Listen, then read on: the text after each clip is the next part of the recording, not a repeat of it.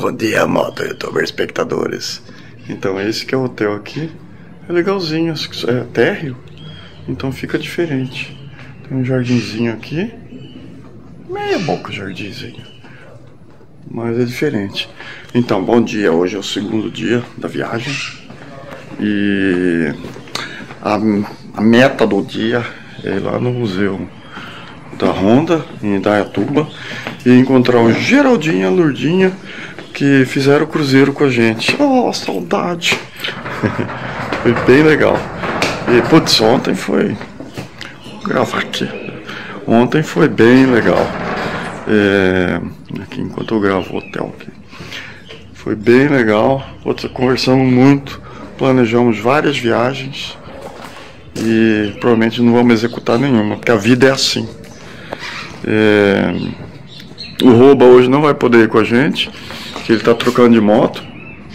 E aí ele vai ver a negociação. Tá fazendo negociação, então, então ele não vai com a gente. Mas foi bem legal. E ele falou um negócio. Ah, lembrei. É, essa viagem eu tô com pouco preparo físico, então fiquei meio moidinho, tô meio moidinho. E não é o ideal, tá? Só que essa viagem, o plano nosso, ontem que foi puxado, é, foi 488 quilômetros, mas muita curva então um pouco cansativo. Mas tô de boa, tô de boa, tô de boa. Então a recomendação, cara, você vai viajar de moto, faça uma academiazinha, dá uma. Sabe? Então agora eu vou entrar aqui para tomar o desayuno. Bom dia. Então, agora aquecendo os motores para ir para onde mesmo, meu amor?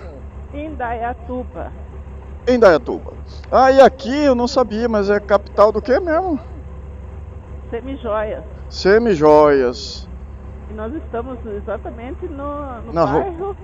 na Rua das Semijoias. Na Rua das Semijoias. E aproveitando, se você quer ver uma coisa joia, é você viajar assegurado, né, meu amor? Ah, sim. sim quem, caso não saibam, existe seguro viagem também para nacional. Nacional. É bem mais barato. E como não tem o plano nacional, plano de saúde nacional, então eu sempre faço a viagem. É, eu não lembro de cabeça aqui, mas eu vou colocar o valor aqui que, eu, que ficou para mim. Então um valor bem razoável. É, o valor até ficou um pouco alto, porque são 33 dias, né? Ah, vai estar uhum. tá escrito aqui. Então, uma viagem assim de 20, 15 dias, é, vale, vale a pena. Eu, é, eu sou fã de fazer seguro. Minha moto é assegurada, meu apartamento é assegurado chama-se tranquilidade e não dá margem pro, pro azar. Isso sempre pode aí, acontecer. Ó. Shopping Vila Faraó Shopping. Tudo. É, deixa eu focar no trânsito, senão daqui a pouco uma capotada.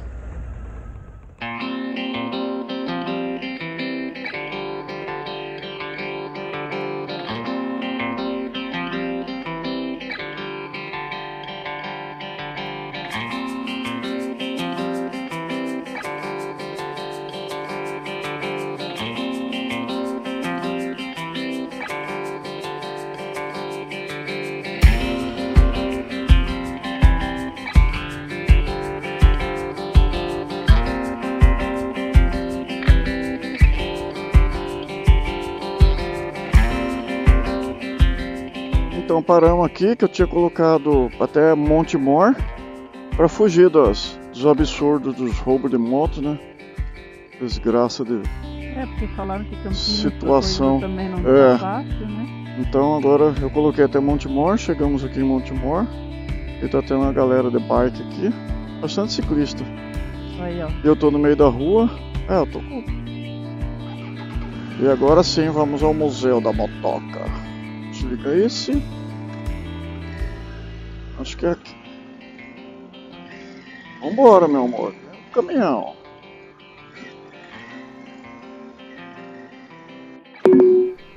E não era pra cá.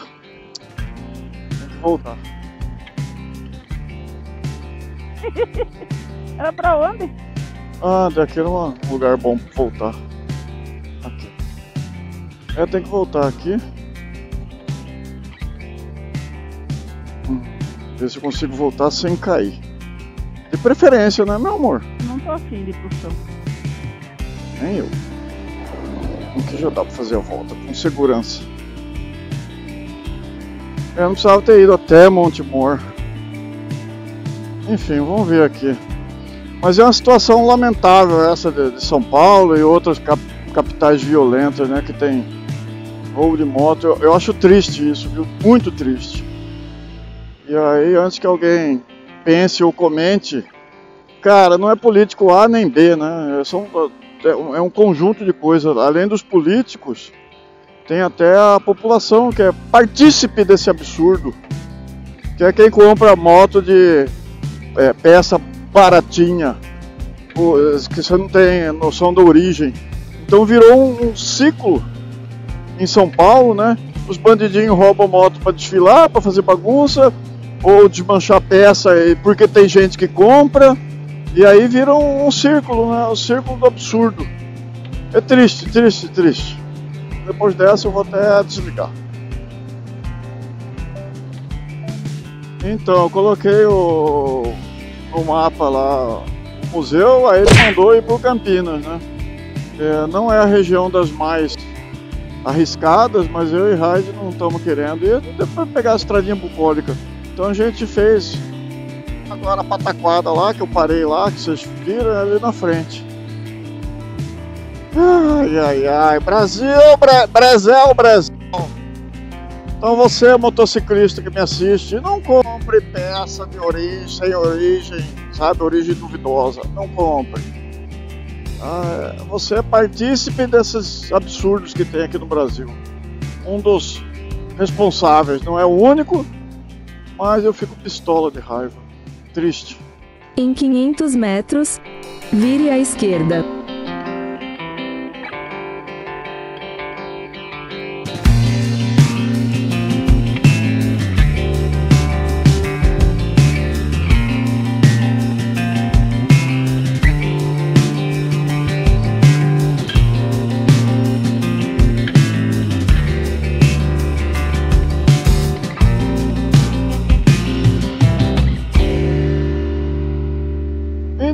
Para fugir dos bandidos, nós ganhamos de brinde aqui uma estradinha bem legalzinha, bem bucólica, como vocês estão vendo aqui. Não sei o nome dessa rodovia, não faço ideia, mas é, é, entrando por Montemor. E é legal, bastante gente fazendo, o cara correndo aí, um monte de ciclista. Legal. Em 50 metros. É... Hum. Não, me senti na Toscana ali. Ah. Toscana. Muito legal.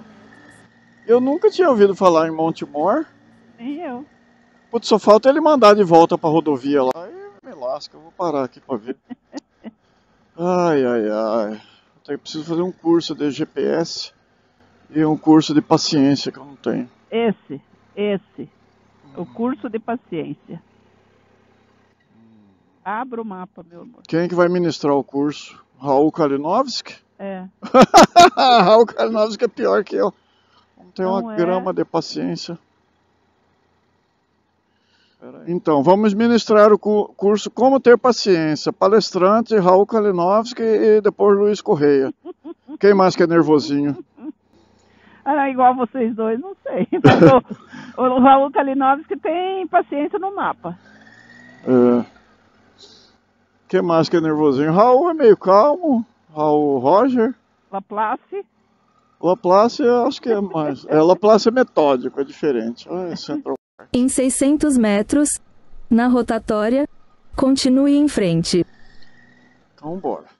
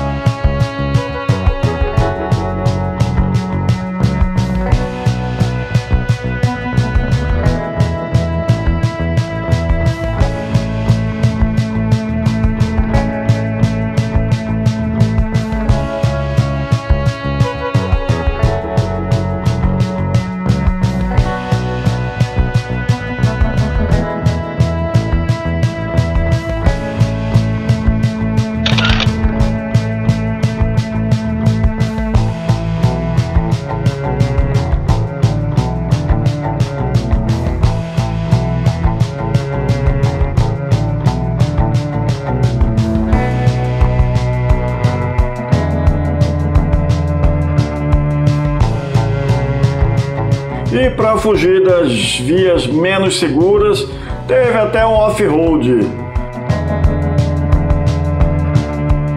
Um off-road dos mais radicais que vocês nunca vão imaginar. Nós somos muito intrépidos. Mas vamos avançar para Indaiatuba. Agora sim, chegando em Indaiatuba.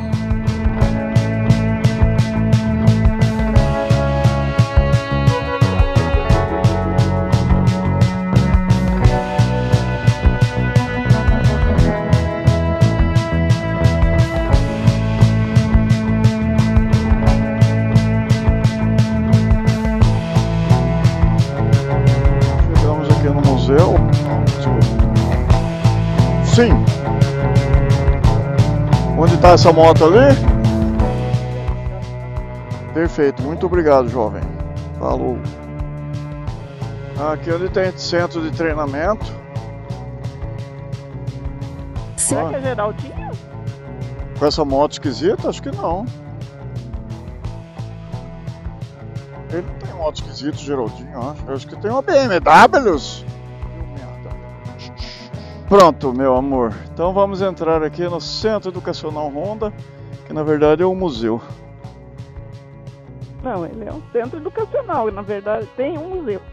É, a moto ficou muito inclinada pro meu gosto, mas tá bom. Cuidado. Então acabamos de chegar no Museu da Honda. O, o Lourdinho e o Geraldinho dizem que vem pra cá, não tô acreditando muito. E aqui é a moça que nos atendeu maravilhosamente. Então saímos do elevador aqui e já deparamos com um parque de diversões. Que eu não sei se eu vou. Eu falo nunca, que eu nunca vou filmar, mas eu sempre filmo. Cara, já tô vendo as preciosidades aqui. Eu acho que eu vou tirar foto e. Então, essas aqui são as primeiras, deve ser 76. Vamos ver se eu tô bom. 76 a evolução da, Acho que começou 76, era quatro marchas, aí não é desgraça. 78. Aqui acho que 78 que começou 12 volts o sistema de. Ah, não vou. Essa aqui foi sonho de muita gente. A Turuna. Essa aqui é comando de válvula por vareta ainda. E essa aqui já é o OHC por corrente. Então tinha uma cavalaria um pouco maior. Eu lembro dessa linha 80 ah, pensei que era 83, mas 86 que foi, eu lembro da propaganda. Era a grande mudada, a grande sacada e a grande virada. Mudada, sacada e virada, algo assim. O painel dele é top, ó. Ó o painel dela, moto YouTube espectadores. O tanque já era quadrado, bem mais moderninho. E essa aqui era a Turuna que era a única que tinha freio, freio a disco. E por aí vai a evolução da. Ah, essa aqui é a evolução da, da Titan, da CG, né? Que é o carro-chefe da Honda. A Honda é líder disparada de, dessas motos pequenas. Puta, domina o mercado assim absurdamente. Essa que produziu pouco é álcool. Então, e aqui é a moto do Ricardo Bernardo, quer dizer, não é mais, né? Essa moto aqui veio pouca pro Brasil, é motor V4, e foi a primeira a vir com dual clutch, uh, câmbio. Então ela já vinha bem completona, é uma moto legal. E saiu a, a essa aqui é a F, e saiu a R, aqui, aqui não sei nem se vai ter, que era tipo uma crossover. E vamos continuar. Aqui motor e câmbio da, da NC. Na Europa a linha NC tinha, não sei se ainda tem, mas eram, eram quatro versões, se não me engano. Tinha essa que era meio cruiser, tem uma Naked, tinha um scooterzão feio para boné, e lançaram depois aquele scooter a XADV e a própria NC. Então no, Brasil veio essa aqui, mas não, não, pegou. Essa aqui eu já pilotei, é a, a avó da Bis. Essa é do, do Alfredo? É, aham. Uhum. Tudo bom? E essa aqui ganhava no prêmio Feiura. Espero que o cara não fique bravo aqui. A Honda trouxe, mas não vendeu quase nada, porque ela é mais feia que mãe, batalha mãe noite de Natal. É, o design dela é bem japonês, né? Esse desenho. Coisa, mas aqui no Brasil não pegou. Né? Então a evolução, essa aqui na verdade não é. Outra moto que eu sonhei em ter, que foi uma evolução, CBX 150, depois de Estrada 200, e essa aqui eu tive, só que eu tive a versão anterior dessa. Esta aqui é 2008, a minha acho que foi 2003. A diferença básica, essa aba aqui era maior, então ela dava um porte maior de moto, então achei que ela ficou mais feia. Deu evolução. Ah, outras motos que eu sonhei em ter, que foi o lançamento da linha Trail no Brasil, 1982. Isso aqui era um motão. Ah, interessante. Essa moto aqui foi e voltou. Ela primeiro lançou um carburador, aí depois dois carburadores, depois um carburador de corpo duplo, depois um, um carburador só, enfim.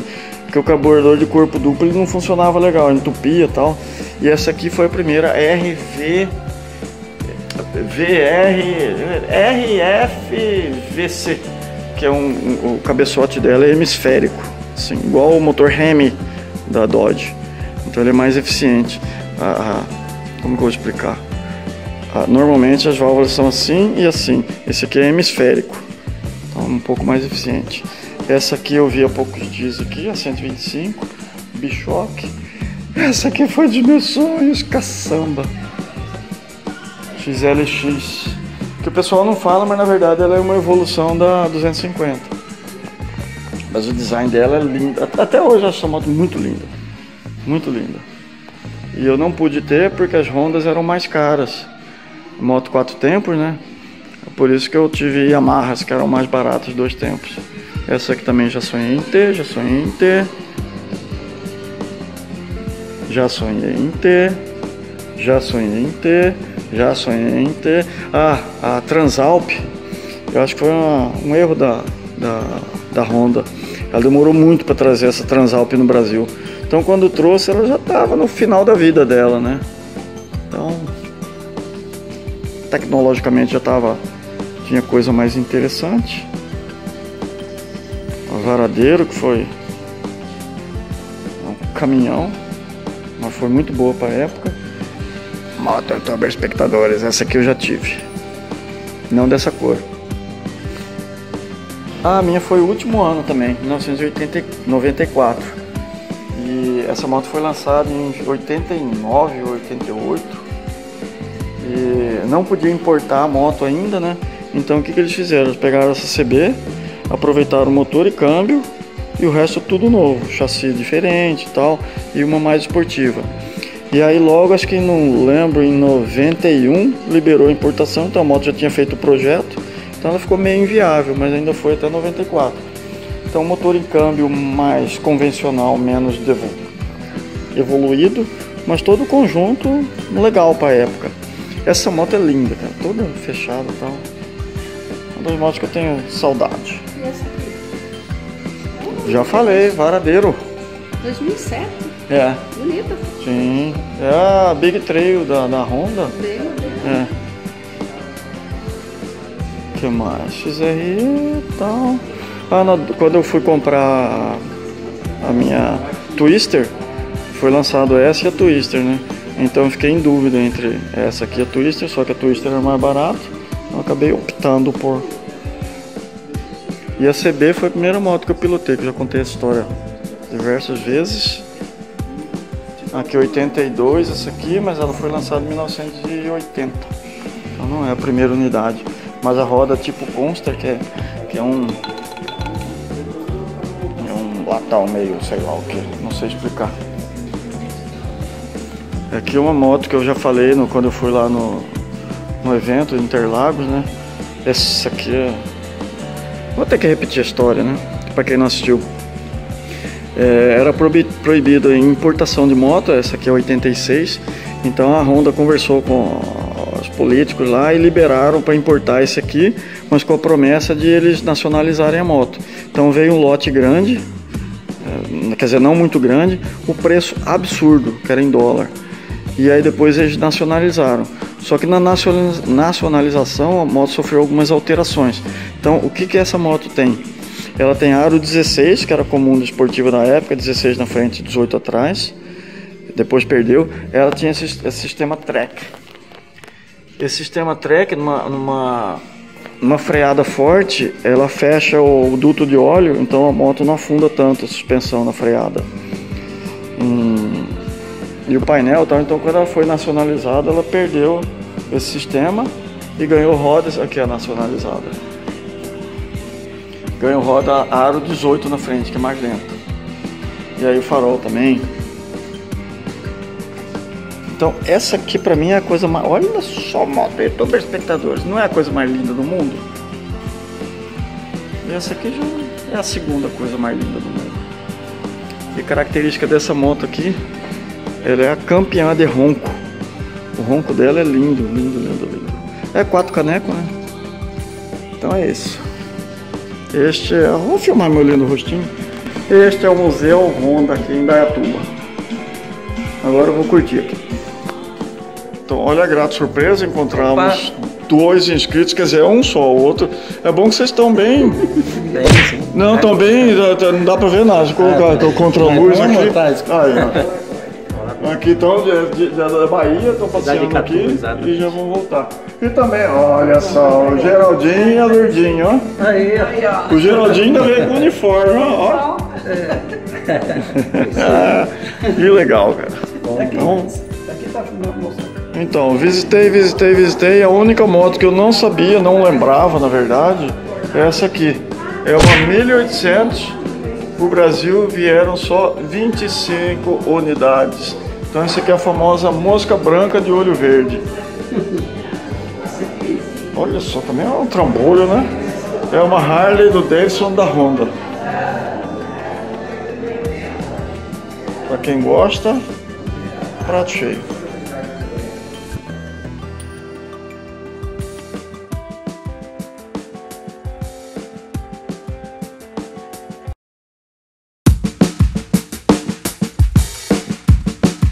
Estamos nós nos preparativos para buscar o melhor restaurante do universo.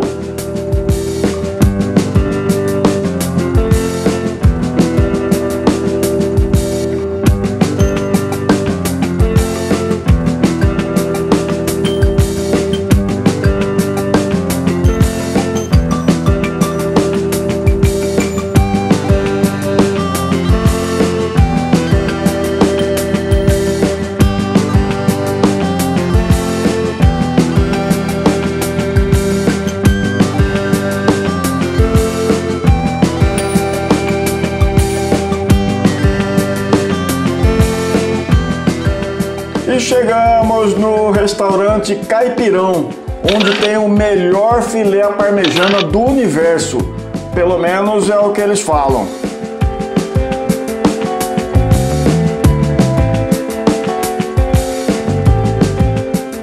Almoço devidamente acondicionado, hora de seguir em busca de mais aventuras e curtição.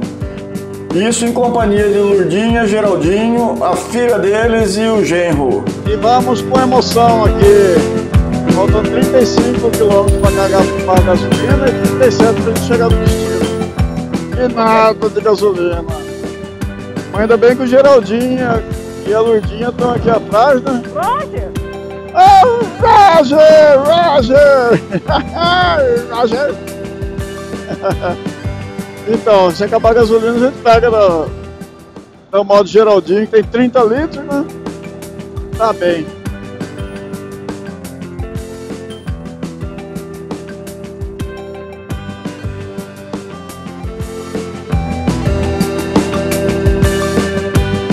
E a pausa agora é para o almoço de Margaret Thatcher.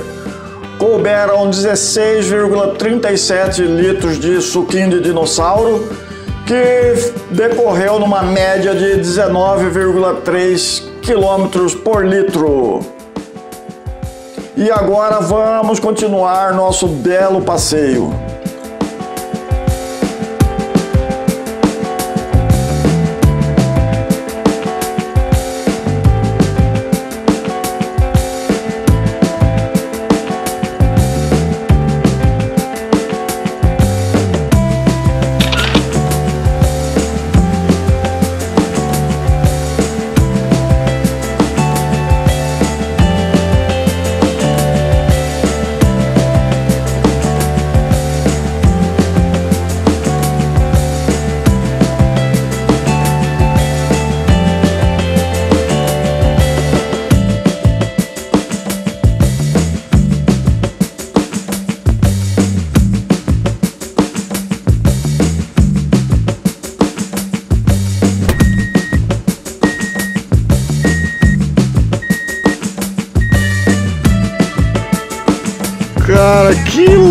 Lugarzinho mimoso. Olha, muito mimo. A garça ali, ali na frente tinha as capivara. E tem estacionamento para motos, ó, ó. E a gente tá chique, tá com carro de apoio. Nunca me senti tão importante assim na vida.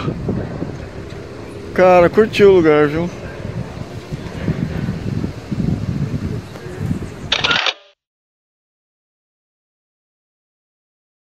Ah, E estamos legal. aqui, aí fomos legal. conversar com o Fabrício. Ai, E ele me reconheceu. Ó, Fabrício, Aí, ó. Aí, ó. ele me reconheceu. Você não tá devendo pensão, Famoso. né? Não. Posso filmar, não? Não, não pode tá. filmar, pode filmar. Então, É um tava, prazer conhecer vocês pessoalmente. tava contando as histórias da Argentina, co- tentando convencer ele pra ir pra Argentina. Ah, né? preciso ir, Vale agora fiquei instigado. Vale a pena. Beleza, valeu. Valeu. Só a moto propicia isso, né? Só, cara.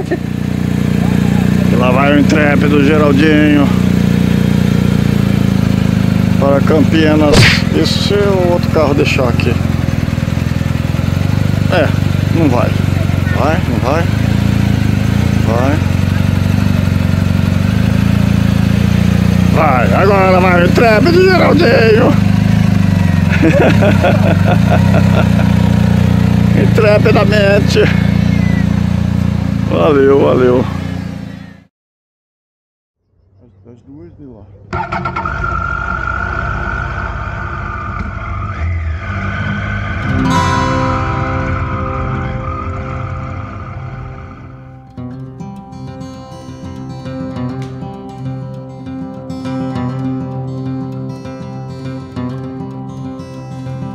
E lá vamos nós para a nossa pousada em Olambra.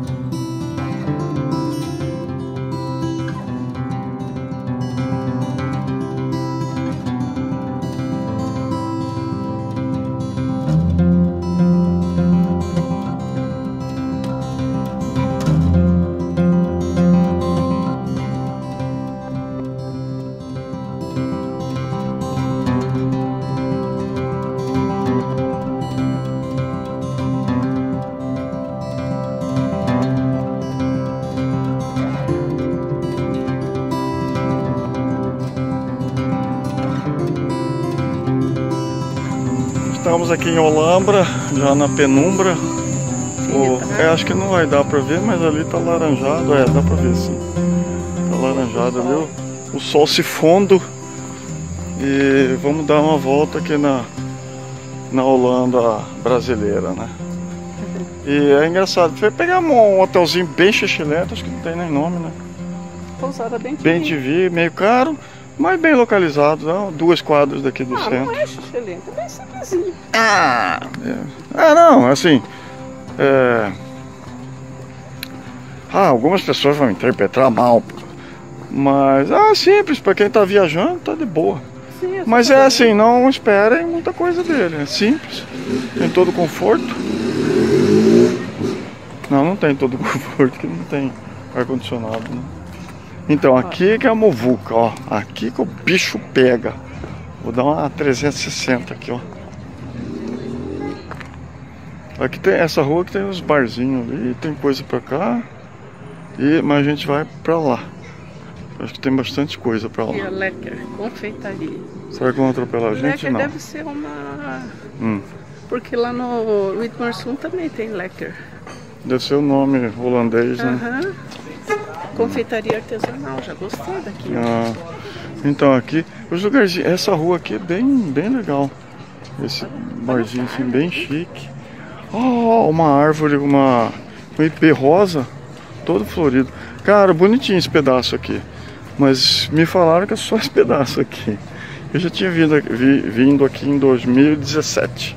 Então é isso, Dá um chega que close eu vou. Ah, tá. Mas aqui não vai dar pra ver as cores. Aqui o IP rosa, todo florido. É, no vídeo tá, a cor tá mais sem graça. Então. Então, aqui que é o fervo. É só uma quadrinha aqui. É bem legalzinho, é bem arborizado, né? De dia fica tranquilo. Tem uns banquinhos pra sentar. E aqui os ajetos. E eu preciso limpar a lente dessa câmera.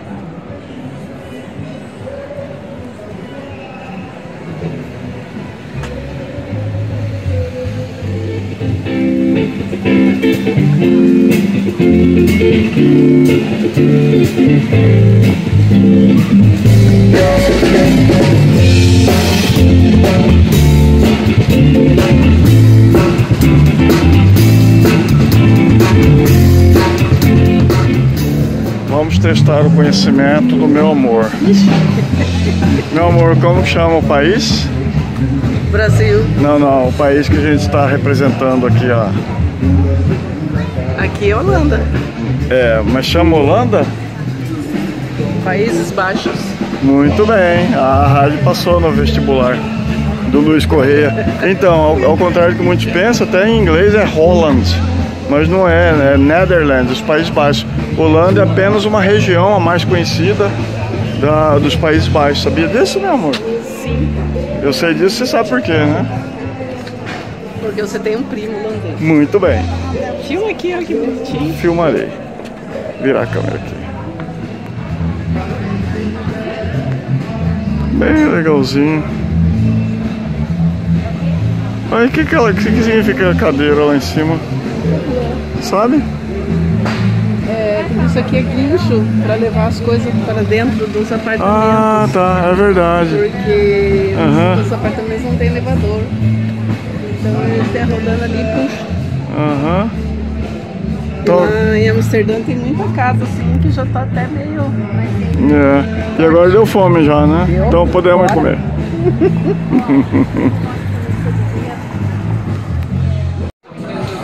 Ó, a Raíssa bebeu, pediu uma bebida doida aí, ó. Vem até um charuto tuchado aqui, incandescente, ó.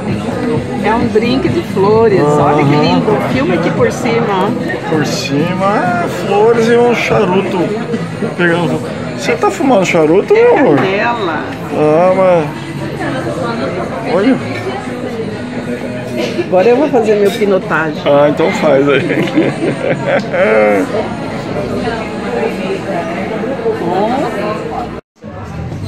Meu amor, depois de eu filmar essa comida, podemos encerrar as filmagens do dia, né? Sim. Então, além dessa bebida doida que a Raiz pediu, que vinha troço aceso, a gente já pagou aqui.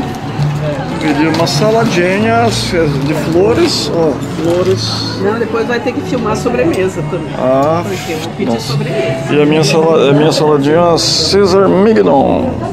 Então, vamos encerrar. E hoje eu não aguento mais beber vinho, porque beber muito, então eu bebi a cer- pegar uma cerveja.